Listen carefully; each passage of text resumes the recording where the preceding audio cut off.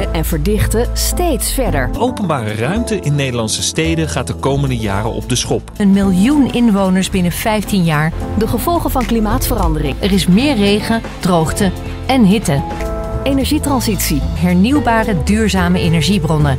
toenemende schaarste aan grondstoffen Het is nu al druk in de openbare ruimte, boven en onder de grond. Voor extra kabels en leidingen. Maar ook opvang of buffering van water en groen. Al die veranderingen moeten op elkaar passen. vragen om een integrale aanpak van de openbare ruimte. In diverse steden gebeurt dit al. Leiden tot innovatieve oplossingen voor maatschappelijke vraagstukken. Omdat dit kansen biedt voor betere contractvorming, onderhoud en kostenbesparing.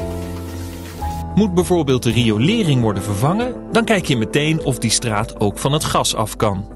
Koppelkansen is voor mij een eh, transitietraject dat eh, met grote gevestigde partijen, eh, namelijk Liander, Waternet en de gemeente Amsterdam, werkt aan fundamentele verandering.